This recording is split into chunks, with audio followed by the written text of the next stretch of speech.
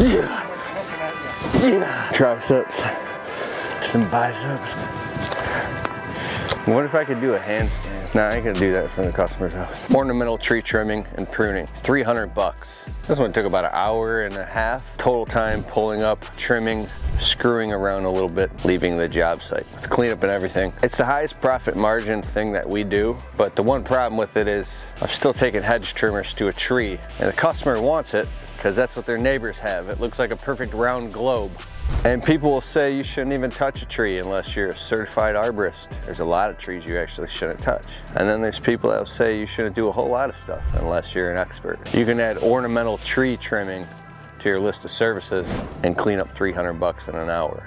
I worked a job in a collision shop and they were telling me I need to learn how to paint cars and go to school and learn how to bump out and bondo cars and repair them in order to work there. And I, and I didn't want to do that and I moved on from that. Then I worked in a pizza shop and they told me that if I worked real hard I could become the manager. And I didn't want to do that and I eventually bounced out of there. Then I worked at a huge company cutting grass and doing horticulture and they said if I worked real hard I could become a division manager and have a career there. If I just stopped all my momentum and everything I was doing and then go take the classes that they wanted me to take so I could do better for that.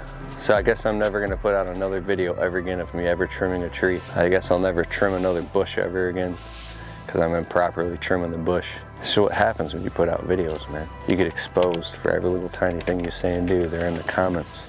So do your research. This is for entertainment purposes only. But this customer wants his ornamental tree to be a perfect globe. That's what we gave him. Think about offering these services to your customers. Not only trimming their shrubs and pulling the weeds in the garden beds, but if they got ornamental trees, we've cleared 2200 bucks before trimming up a bunch of ornamental trees. It's very, very, very hard work. My shoulders ain't working no more. They hurt. They hurt when I sleeps, man. But I stretch them out and make them more money. Shit, dog. Let me know in the comments below what services you offer. And if you're trimming some ornamental trees, dog. And the thing I like about it is, is that there's a difference between removing large trees. Do you know how much the insurance and work comp prices is for that? Totally different ball game than trimming someone's trees in a garden bed. That's what I'm screaming. You know why? Because there are aliens. I never seen one. I know I said this in the last video, and I know you want to click off and stop watching this video, but I'm telling you, we got a subscription to Gaia. My wife and I have been watching this at night. Dude, these people on here, they're talking about how they've been abducted and there's these alien programs and they've got bases on Jupiter and all this stuff. And I'm watching this and I looked at the guy's eyes. I'm like, this, I look at my wife, I'm like, this is real, man. She's like, I know, oh my God, she's biting her nails, eating pistachios. We love it, dog. I went and made some popcorn. But then I sat down and I looked in his eyes. He was interviewing the other guy. I looked in his eyes, and you know what I saw? Even though it looked like they were looking at each other, their eyes were scanning like this. Motherfucker was reading off a teleprompter, dog. This shit is scripted.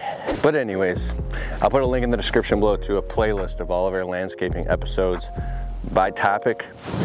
If you're looking for tips of how to take your business from zero to 100K, you've come to the right place. That's what we talk about here for the most part. See you in the next video.